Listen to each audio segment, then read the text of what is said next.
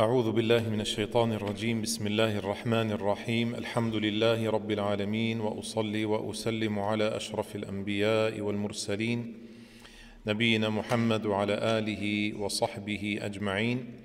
السلام عليكم ورحمة الله وبركاته. Liebe Geschwister und herzlich willkommen zum Vortrag. Heute inshallah ta'ala machen wir weiter mit dem zweiten Kalifen. Umar ibn al-Khattab radiyallahu anhu wa ardah.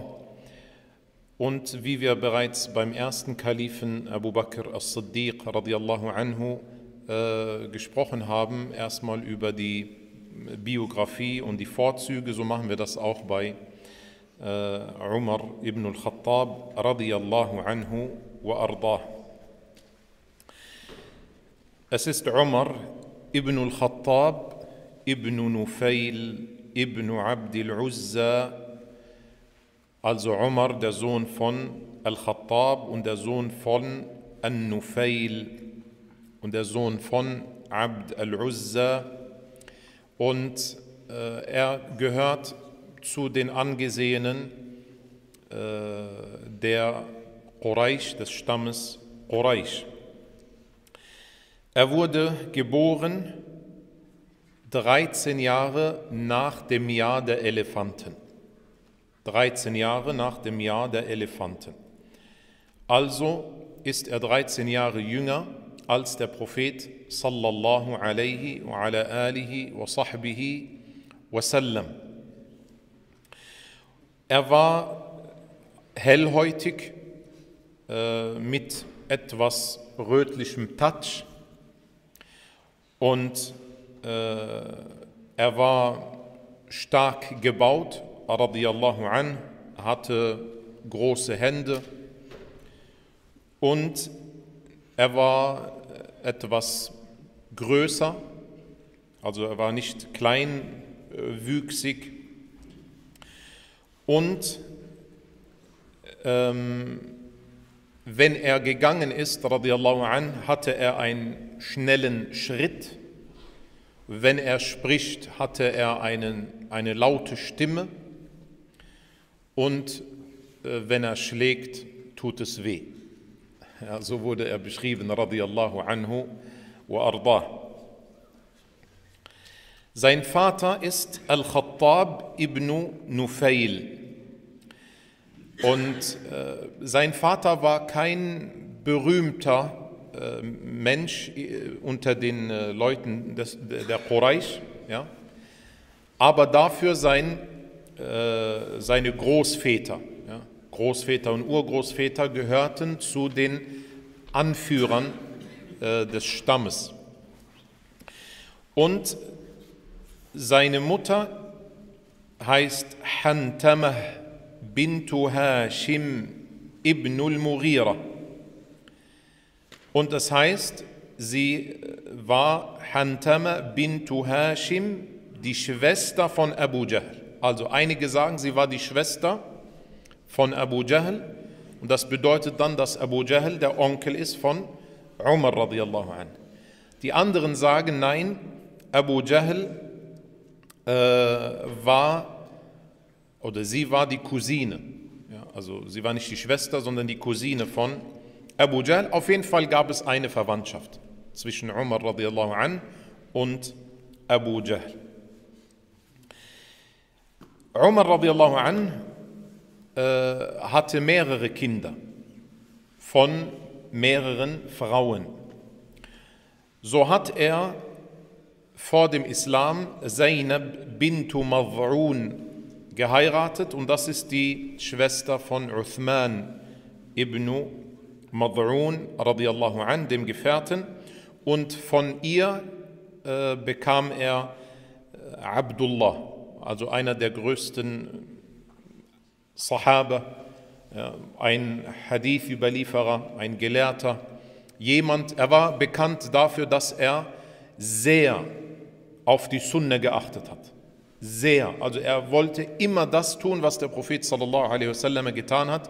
Abdullah ibn Umar selbst den Gang des Propheten sallallahu alaihi wasallam, wie der Prophet geht, sallallahu alaihi wasallam, versuchte Abdullah ibn Umar nachzuahmen.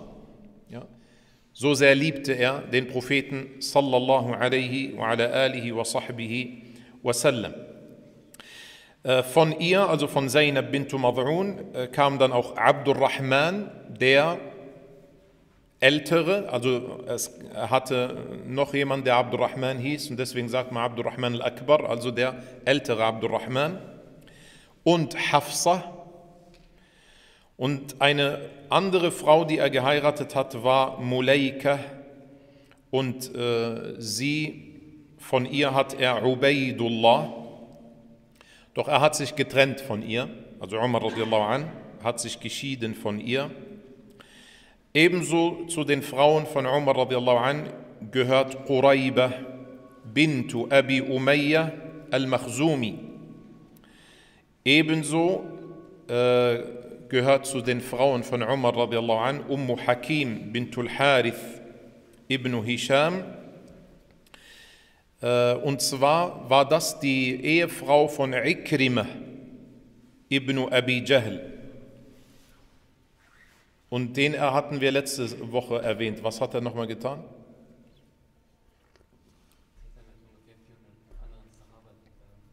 Genau.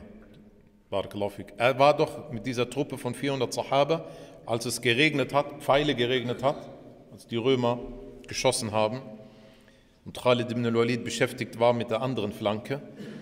Und dann hat äh, gesagt, jetzt müssen wir da hin und das beenden. Also ist er mit 400 Mann hin und ist er gefallen dann. Alle 400 sind ja gefallen.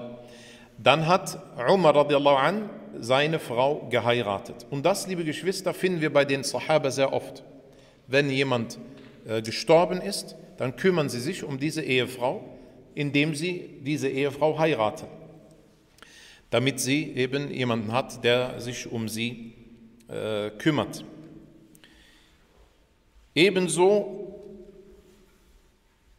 hat äh, Umar radiallahu an, äh, die Tochter von Abu Bakr as-Siddiq radiallahu an, äh, also er hat um die Hand gehalten, um ihre Hand gehalten, und zwar hieß sie Umm Kulthum.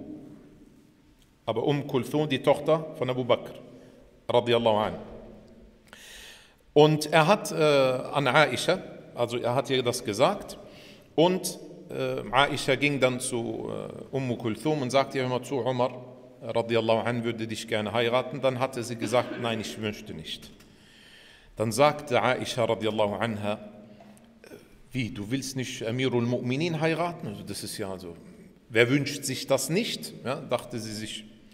Da sagte sie, ja, ich möchte nicht, er ist zu hart. Ja, also sein Ruf war ja bekannt, radiallahu anhu. Nicht, dass er hart war, ungerechterweise. Ja?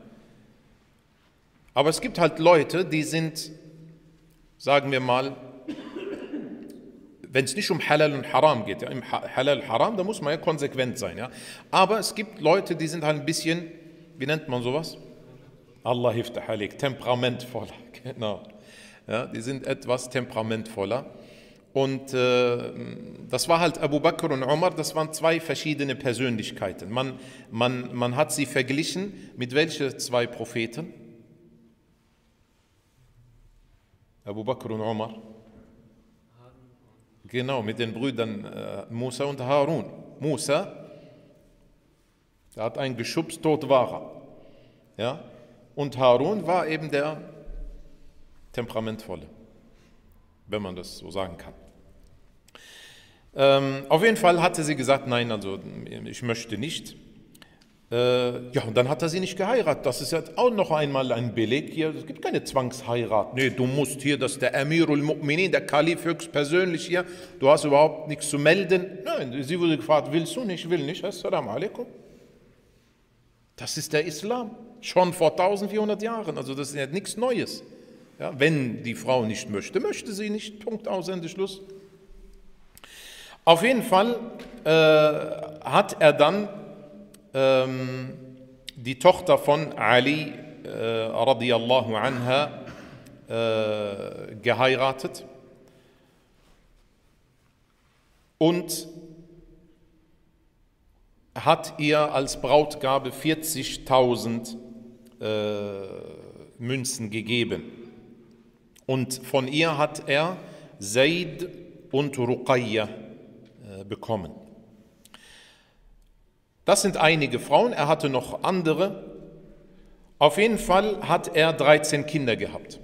Radiallahu an. Diese sind Zaid der Ältere, Zaid der Jüngere, Asim, Abdullah, Abdurrahman der Ältere, Abdurrahman der Mittlere, Abdurrahman der Jüngere, Ubaidullah und Iyad und Hafsa und Ruqayya und Zainab und Fatima radiallahu anhum. Das sind die Kinder von Umar radiallahu an, 13 Kinder. Insgesamt äh, hatte er Frauen, äh, also jetzt nicht gleichzeitig, ja, einige gleichzeitig, einige äh, geschieden und so weiter, waren es insgesamt sieben Frauen, radiallahu anhu. Er sagte, warum er heiratet und warum er Kinder will was der Grund ist. Warum hat er so viele Kinder? Natürlich gab es Sahabe, die mehr Kinder hatten, ja, aber ein Grund, warum er Kinder wollte, er sagte, ich strenge mich an beim Beischlaf, um, äh, sodass Allah subhanahu wa ta'ala mir Kinder gewährt, die dann Allah gedenken. Was soll das heißen, strenge ich an beim Beischlaf? Also, äh, ich heirate, und ich versuche, auch wenn ich äh, keine Lust verspüre, trotzdem äh, versuche ich, den äh, Beischlaf zu führen, auf dass ich umso mehr Kinder bekomme. Und aus dieser Aussage, liebe Geschwister, lernen wir eine Angelegenheit, die im Eheleben wichtig ist. Es kann sein, dass der Mann äh, vielleicht nicht so viel Lust hat ja, äh, auf den Beischlaf, aber das äh, heißt nicht, dass er dann seine Frau vernachlässigen soll. Das bedeutet, auch wenn man vielleicht nicht diese, ja, diesen Drang gerade empfindet oder Lust empfindet, dann soll man trotzdem den Beischlaf führen, wenn die Ehefrau äh, eben äh, das möchte. Warum? ja, damit äh, sie äh, nicht in Versuchung gerät. Ja. Das heißt, es ist nicht so, dass der Mann sagen kann, nee, also wenn ich keine Lust habe, dann äh, ist nichts, ja, sondern der Mann soll auch dafür sorgen, dass seine Ehefrau eben bewahrt wird und beschützt wird vor den Versuchungen. Und natürlich die Ehefrau auch. Ja. Wir wissen ja, äh, dass der Prophet sallallahu alaihi wasallam erwähnt hat, dass die Frau eben, wenn der Mann ein Verlangen hat, äh, alles stehen und liegen lassen soll, ja, wenn eben der Ehemann ein Verlangen hat. Warum? Weil es keine andere Lösung gibt. In einer Gesellschaft natürlich, in der Sinne überall möglich ist und überhaupt nicht schlimm ist, und äh, die Menschen also sehr oft fremd gehen und so weiter und so fort, können die das nicht nachvollziehen? Warum äh, sagt ihr, ein Mann hat Recht auf Beischlaf, eine Frau hat Recht auf Beischlaf? Warum redet ihr von Recht? Ja? Es ist doch etwas, äh, was mit Liebe zu tun hat und so weiter und so fort. Ja, weil im Islam es keine anderen, keinen anderen Weg gibt, außer diesen. Du bist verheiratet, sowohl Ehemann als auch Ehefrau. Der erste Grund der Ehe ist eben Beischlaf. Und deswegen müssen beide darauf achten. Deswegen sagt auch Allah subhanahu wa ta'ala äh, in diesem Gebot, wenn ein Mann äh, schwört, dass er keinen Beischlaf mehr haben wird mit seiner Ehefrau, der hat dann vier Monate Zeit, Maximum kann nicht das ganze Leben so weitermachen. Ansonsten muss er sich trennen von dieser Frau. Ja? Und die Gelehrten sind sich da jetzt nicht einig, ähm, wie äh, oft dieser Beischlaf sein soll, also was das Recht der Ehefrau ist. Einige sagen, alle vier Tage, weil ein Muslim darf vier Frauen heiraten und dann wäre sie ja alle vier Tage dran. Ja? Andere sagen, nein, es ist jetzt keine bestimmte Anzahl, sondern es muss äh, eben so sein, dass es keine Versuchung wird. Weder übertreiben noch untertreiben. Umar radiallahu an fragte aber, als die Soldaten, die Muslime, die sind ja dann, wie wir sehen werden, wir reden inshallah ta'ala äh, über eine Herrschaft, die zehn Jahre lang ging. Das Kalifat von Umar radiallahu an. Ja? Und da gab es viele äh, Kriege auch. Und äh, das heißt, da hat er gefragt, wie lange äh, kann eine Ehefrau es aushalten, dass ihr Ehemann nicht bei ihr ist? Ja, dann fragte er und dann hat man ihr gesagt, vier dann hat man ihm gesagt vier Monate und deswegen sagte er, okay, kein Soldat darf länger als vier Monate äh, hinausziehen. Dann muss er zurück zu seiner Familie.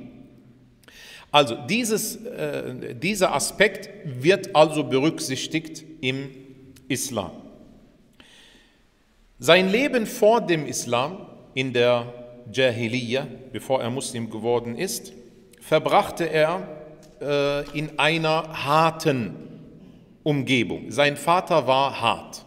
Ja, und das erklärt auch, warum er in, auch ja, temperamentvoll war. Radiallahu an.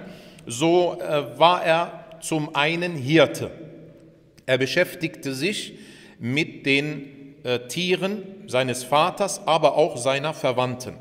Und so ging er hinaus mit den Tieren, ja, um äh, sie auf die Weide zu bringen, äh, wie er es selbst gesagt hat, radiallahu an.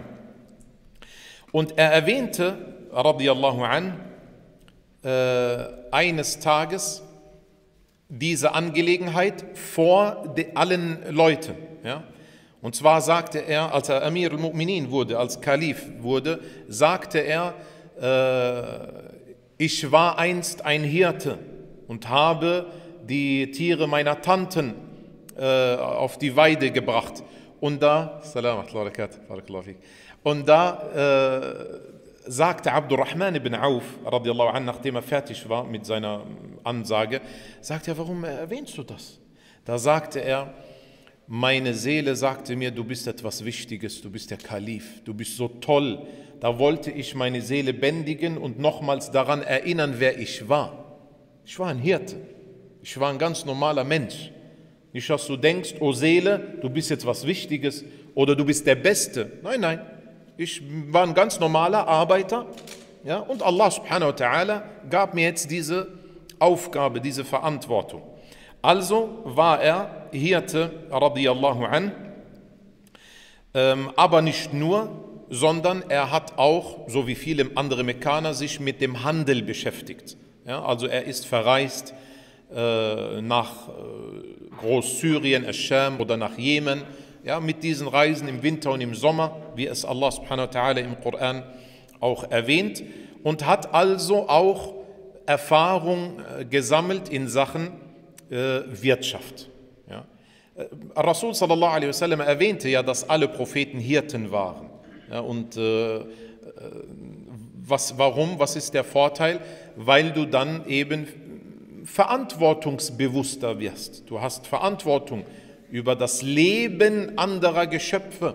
Ja, und, und deswegen ist das etwas, was eben eine Persönlichkeit auch ausmacht.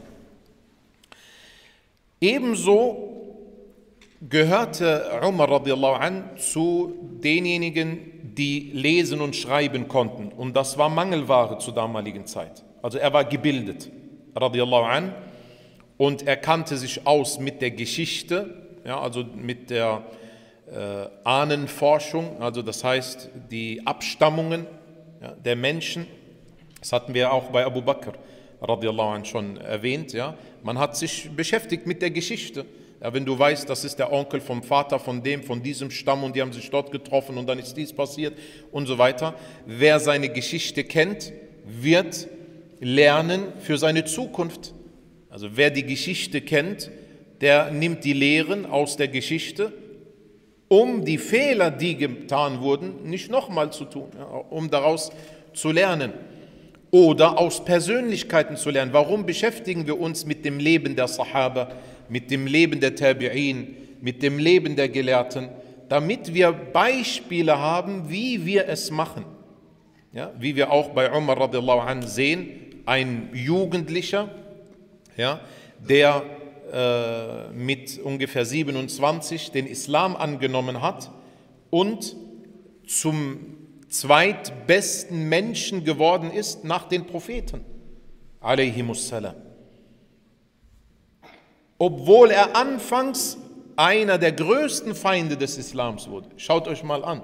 Einer der größten Feinde, Abu Bakr war kein Feind des Islams. Von, also Abu Bakr as-Siddiq radiallahu an war ja sofort, das war ja der erste Mann, der den Islam angenommen hat.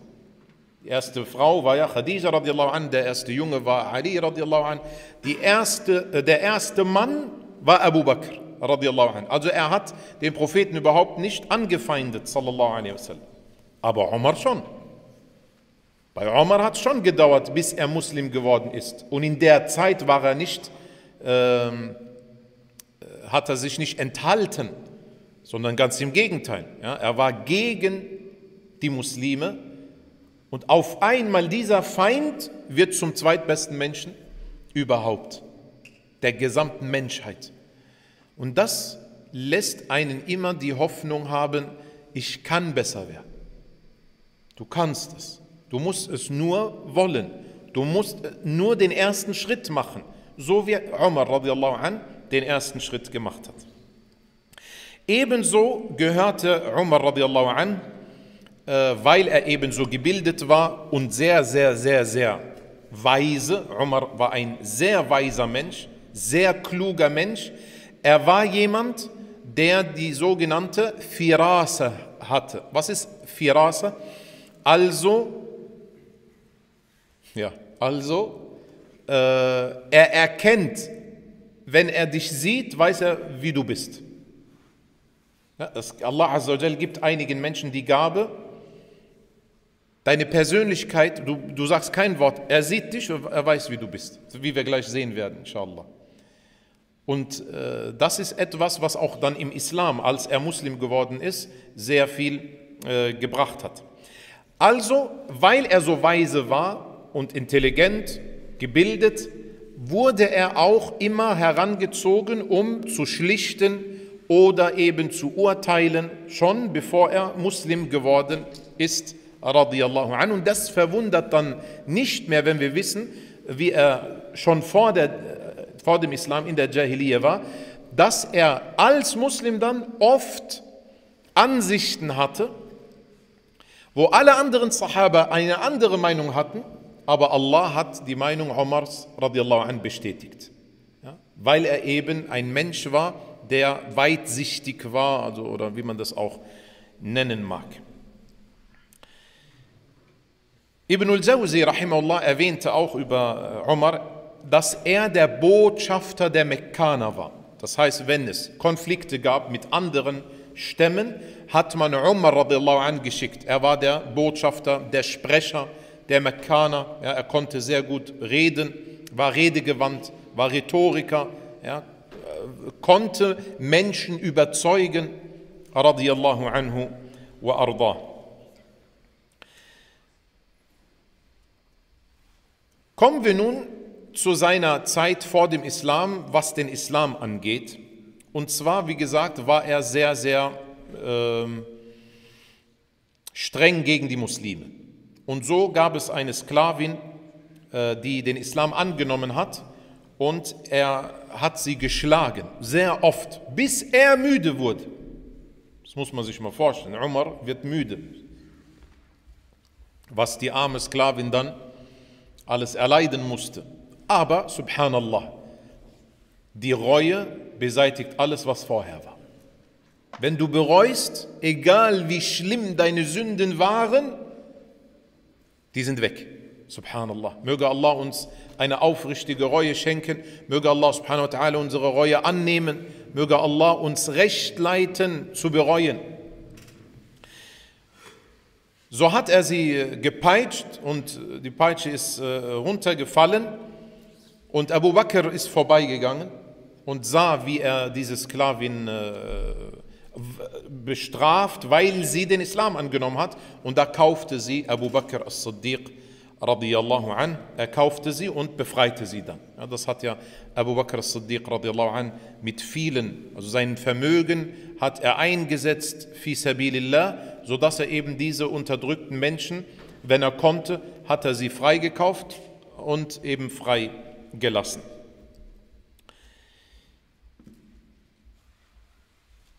Umar radiallahu an erwähnte einen Aspekt, äh, wie, die, wie es auch schon äh, der Prophet sallallahu alaihi wasallam erwähnt hat, und zwar die Besten von euch in der Jahiliyyah, sagte der Prophet sallallahu alaihi wasallam, sind die Besten von euch im Islam, wenn sie Kenntnis haben, wenn sie Wissen haben.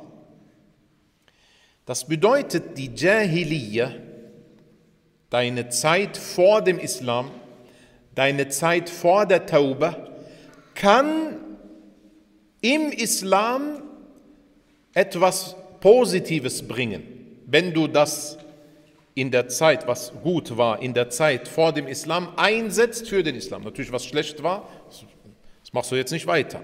Aber das, was gut war, bevor du zum Islam gekommen bist oder bevor du, du warst schon immer Muslim, aber leider auf dem schiefen Weg und dann, Alhamdulillah, hat dich Allah wieder zurückgebracht auf die richtige Bahn das, was du vorher so an Fähigkeiten hattest und so weiter, nutze dies für den Islam.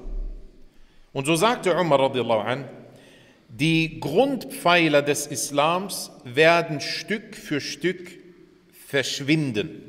Das sagte auch Rasul sallallahu alaihi wa ala alihi wa sahbihi wa sallam. Die Grundpfeiler, also die Gebote, ja, die, die Lehren des Islams werden Stück für Stück verschwinden sagte der Prophet sallallahu alaihi wasallam. Das erste, dass die Gebote verschwinden. Ja, wie wir es heute haben, wir sehen muslimische Länder, Zinsen sind nicht verboten, äh, Alkohol ist nicht verboten. Ja, das heißt, muslimische Länder halten sich gar nicht an den Islam, ja, sondern bringen Gebote, die mit dem Islam überhaupt nichts zu tun haben. Und das Letzte, was verschwindet, ist das Gebet. Möge Allah unsere Herzen das Gebet lieben. Ja, möge Allah uns das Gebet schmackhaft machen. Möge Allah subhanahu wa ta'ala uns das Gebet nicht vernachlässigen lassen. So sagt also äh, Umar radiallahu an, äh, die Grundpfeiler des Islams werden Stück für Stück verschwinden, bis dann Menschen, die nicht eine Jahiliyyah hatten und nur den Islam kennen, äh, oder andersrum, aufgrund von Menschen, die nur im Islam aufgewachsen sind und die Jahiliyyah nicht kennen. Was will er damit sagen? Er will damit sagen, wer weiß, wie schlimm die Jahiliyyah ist, der wird den Islam wertschätzen. Aber wenn jemand schon immer Muslim war, dann kann es sein, das ist jetzt kein Nachteil, ja, das ist also nicht, dass ihr denkt, okay, dann auf in die Jahiliyyah erstmal, ja, sondern gemeint ist was, es wird Personen geben, die leichtfertig mit dem Islam umgehen und deswegen werden die Grundpfeiler des Islams langsam aber sicher verschwinden, weil sie nicht wissen, was bedeutet, die Gabe zu haben, ein Muslim zu sein. Weil sie waren ja vorher keine Nicht-Muslime oder sie waren nicht äh, zum Beispiel in einer Jahiliyyah und deswegen weiß er nicht, was es bedeutet, eine Moschee zu haben. Und das sehen wir ja heute. Diejenigen, die äh, zurückgekehrt sind zum Islam oder äh, den Islam angenommen haben, und dann sehen wir, das ist bekannt, wie sehr sie sich an den Islam halten. Und die anderen, die, ich nenne sie jetzt mal so, ja, traditionellen Muslime, also ein, ein Beispiel, möge Allah euch segnen, möge Allah euch segnen. Wenn wir sehen, die Da'wah auf Deutsch, die Vorträge auf Deutsch, da sehen wir, Allahumma barik, wie wissensdurstig die Deutschsprachigen sind. Vortrag auf Arabisch, da kommen fünf Leute. Sind alle schon gelehrt. Das ist ein Phänomen. Genau das, darum geht es. Weil die anderen wissen, Junge, ich äh, muss meine Religion lernen. Ich, ich habe ja keine andere Lösung jetzt. Es gibt einen Vortrag, also gehe ich dahin. Aber die, die Arabisch verstehen, die wissen nicht, was für eine Gabe sie haben, dass sie Arabisch verstehen. Und deswegen, wenn er zur Jumu'ah kommt, Allahi barik fi, jazakallahu khairan, alhamdulillah. Aber es gibt einen Vortrag. Ja, ja, was will der mir sagen? Er will mir sagen, ich soll fünfmal beten. Ich weiß, dass ich fünfmal beten soll. Und dann kommt was? Diese Leute, die den Islam nicht mehr wertschätzen, die lernen ihre Religion nicht und können dann die nächste Generation nicht unterrichten. Was passiert dann? Die nächste Generation kennt den Islam nicht. Und was passiert dann? Der Islam verschwindet langsam aber sicher. Das ist das Problem. Wenn du eine Gabe hast, wirst du sie nicht wertschätzen.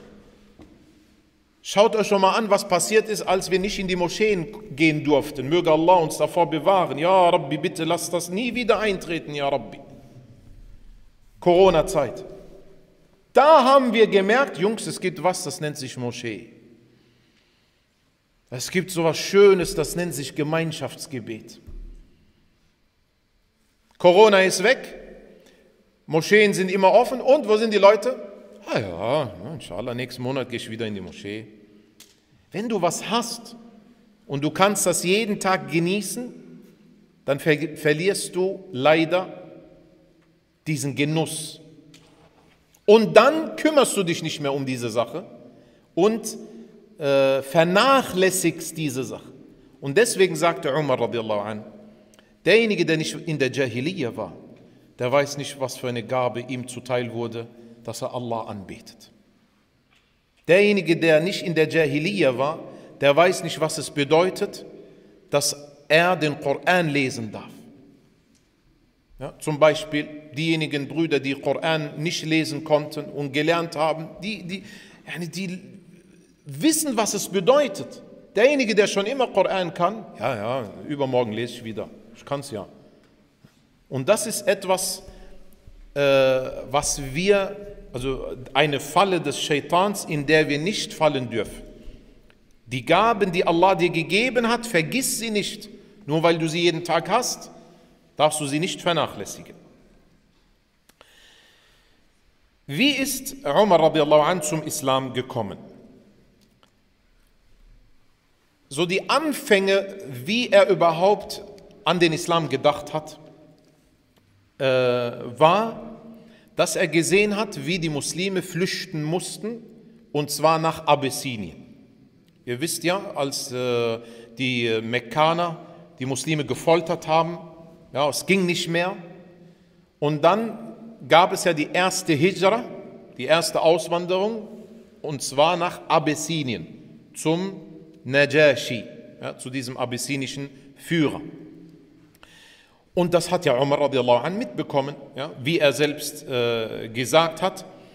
Äh, er hat dann einige seiner Verwandten gesehen und er sagte zu ihnen, äh, geht ihr jetzt, ja? Dann sagten sie ihm, ja, ihr lasst uns ja nicht in Ruhe, ihr lasst uns ja nicht an Allah glauben und unsere Religion ausleben. Dann sagte er, möge Allah mit euch sein. Und das war verwunderlich. Wie, wie, was hat er nochmal gesagt? Möge Allah mit euch sein. Normalerweise, der hat sofort geschlagen oder so. So kennen sie ihn.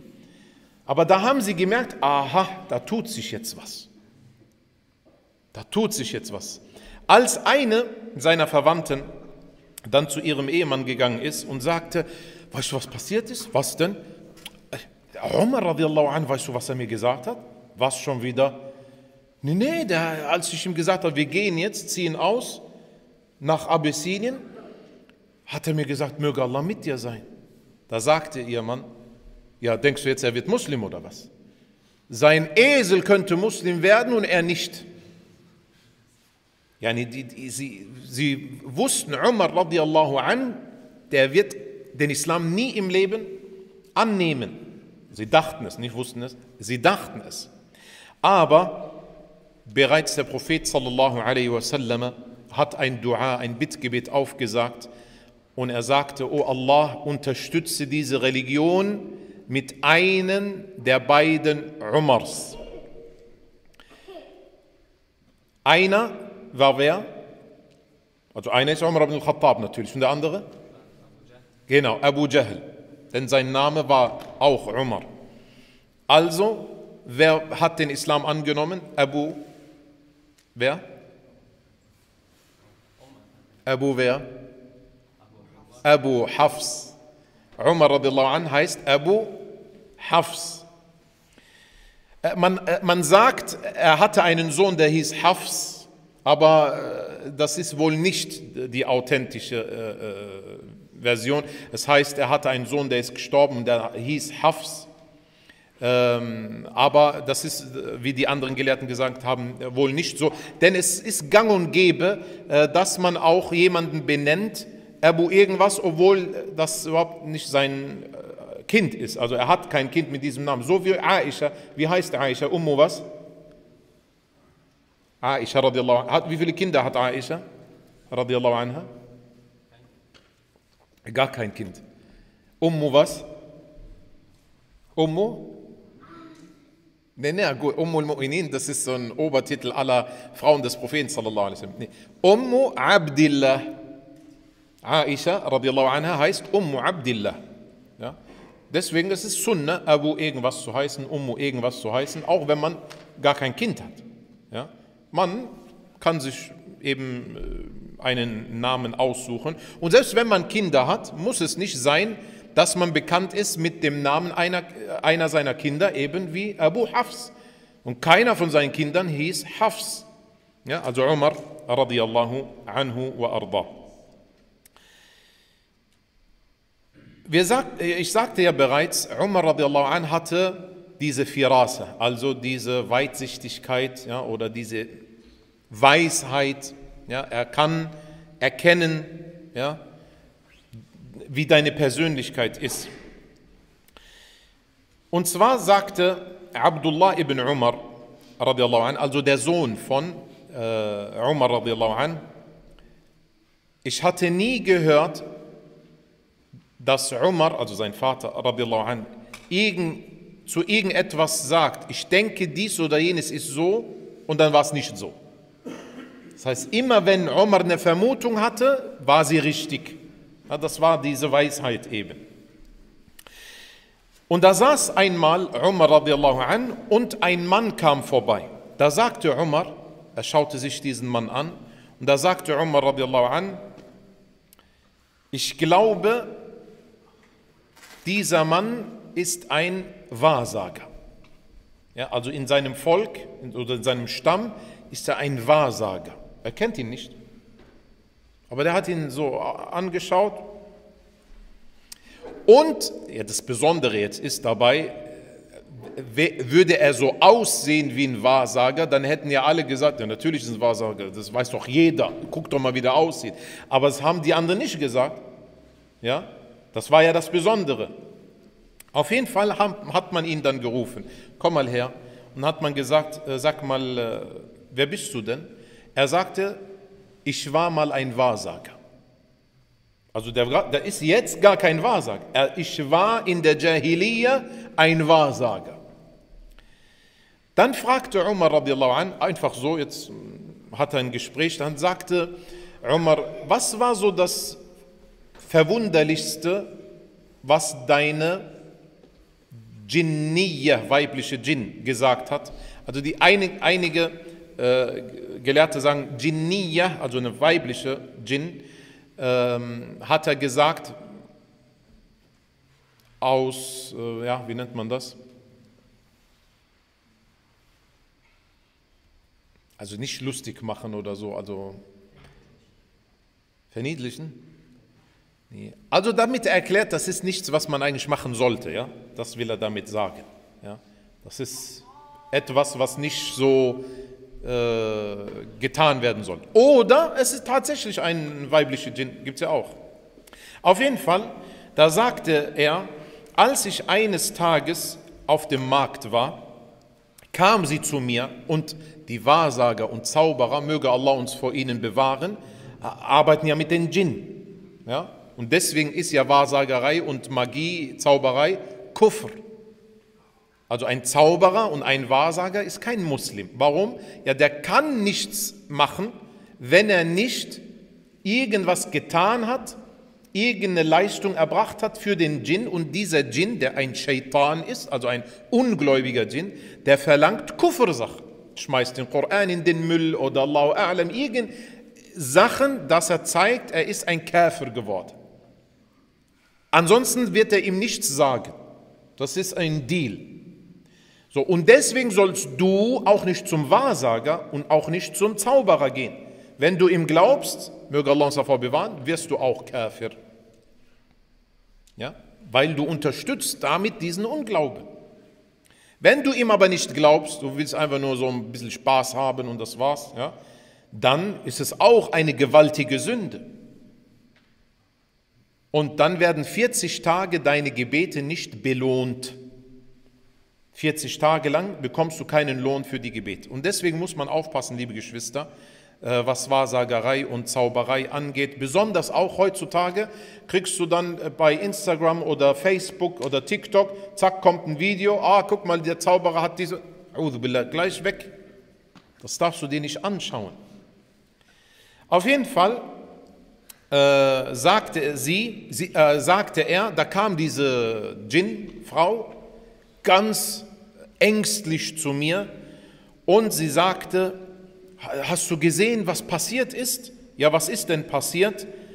Äh, es ist jemand äh, erschienen. Wen meinte sie? Den Propheten sallallahu alaihi wasallam. Bevor er eben äh, es äh, verkündet hat, der Prophet sallallahu alaihi wa ala alihi wa sahbihi wasallam. Also das war eine Geschichte, in der eben Umar radiallahu anhu äh, erkannt hat, wie, die, wie diese oder wer diese Person ist, radiallahu an. Und das gab es zuhauf. Also das ist jetzt nicht die einzige Situation. Das war aber eines der besondersten äh, Situationen. Zum Aspekt oder zur Frage, wie, also was war jetzt der Punkt, an dem er Muslim geworden ist, gibt es viele Überlieferungen, die aber nicht authentisch sind. Also, was, was gibt es da für Geschichten? Was kennt ihr bei Umar, an, wie er Muslim geworden ist? Hm. Irgendwas mit der Kaaba? Was war? Hm. Welche Geschichten gibt es? Ja? Ja? Genau, die Geschichte mit seiner Schwester und dass er Surat Taha gehört hat. Das ist eine Geschichte. Und er wollte dann, er, was wollte er denn, bevor er zu seiner Schwester kam? Genau, er ist gegangen. Die Mekkaner haben gesagt, wer bringt jetzt endlich mal diesen Muhammad sallallahu alaihi wasallam um? Dann hat Umar gesagt, das mache ich. Also hat er sein Schwert genommen und war auf dem Weg zu dem Propheten sallallahu alaihi wa ala wa sahbihi wasallam. Auf dem Weg hat man gefragt, was, was machst du? Ja, ich bring den jetzt um. Dann hat man ihm gesagt, ja, dann, geh doch, dann bring doch deine Schwester erstmal um, ja, die den Islam angenommen hat. Also ist er zu seiner Schwester gegangen und äh, dann äh, hat er eben gesehen, dass sie Koran liest mit ihrem Ehemann und dann wollte er das äh, nehmen, dann hat sie gesagt, nein, du bist unrein, du musst dich erstmal äh, waschen. Und dann hat er eben äh, die Ayat von Surat Taha gelesen, die ersten Ayat von Surat Taha und dann hat er eben den Islam annehmen wollen, ist also zum Propheten sallallahu alaihi wasallam. Dort war Hamza radiallahu an, der Onkel des Propheten sallallahu alaihi wasallam. Und die Sahaba, als sie mitbekommen haben, Umar steht vor der Tür, radiallahu an, haben sie Angst gehabt. Hamza hat gesagt, Jungs, lasst den rein, wir, äh, wir sind so viele. Entweder der nimmt den Islam jetzt an und wenn er kämpfen will, den machen wir jetzt fertig. Also wir sind viel mehr als er. Ihr wisst ja, Hamza radiallahu an, also da, kein Mensch konnte ihm Angst einjagen. Auf jeden Fall, da kam der Prophet sallallahu alaihi wasallam und sie hatten ihn fest, äh, entschuldigt, da kam Umar radiallahu anh zum Propheten sallallahu alaihi wasallam und sie, äh, einige hatten ihn festgehalten. Umar, da sagte der Prophet sallallahu alaihi wasallam, lasst ihn. Und da packte ihn der Prophet sallallahu alaihi wasallam, sagte ihm, was willst du? Dann sagte er, ich will den Islam annehmen. Und dann hat er den Islam angenommen. Das ist also eine Geschichte, aber wie gesagt, die Überlieferungskette ist nicht authentisch. Die andere Geschichte ist, dass er Surat Al-Haqqa äh, gehört hat. Ja? In Surat Al-Haqqa am Ende steht ja, und es ist nicht, äh, das sind keine Worte äh, eines Dichters und nicht eines Wahrsagers. Ja? Er, also es heißt, Umar radiallahu an, als er das gehört hat, sagt er, ah, das ist bestimmt ein Dichter. Dann kam zack die Eier, nein, es ist kein Dichter. Nee, es ist ein Wahrsager. Zack die Eier, es ist kein Wahrsager. Auf jeden Fall, äh, es gibt immer wieder Überlieferungen, dass Umar radiallahu an aufgrund des Korans den Islam angenommen hat. Also wird es auch irgendwie so sein. Aber wir können nicht sagen, die eine Geschichte ist authentisch. Also nach Hadith-wissenschaftlichen Kriterien sind diese äh, Überlieferungen nicht ganz authentisch. Wie dem auch sei, wie dem auch sei, Umar radiallahu an hat den Islam angenommen und wurde zur wichtigsten Person des Islams nach Abu Bakr as-Siddiq radiallahu an und äh, das inshallah schauen wir uns äh, weiter an, bi'idhnillahi ta'ala, im nächsten Vortrag. Möge Allah subhanahu wa ta'ala äh, zufrieden sein mit Umar radiallahu an und mit den Sahaba. Möge Allah subhanahu wa ta'ala uns die Liebe der Sahaba im Herzen stärken. Möge Allah subhanahu wa ta'ala uns versammeln mit den edlen Gefährten und mit dem Propheten Muhammad sallallahu alaihi wasallam. Möge Allah subhanahu wa ta'ala uns sterben lassen als Muslime und aufstehen lassen als Muslime. وصل اللهم وسلم وبارك على نبينا محمد وعلى آله وصحبه أجمعين والسلام عليكم ورحمة الله وبركاته